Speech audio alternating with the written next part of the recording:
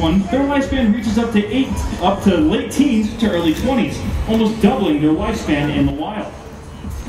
So now that we've shown you their size, we'd like to show you our tiger's agility as well by having Mishka attempt a 10-foot jump from rock to rock.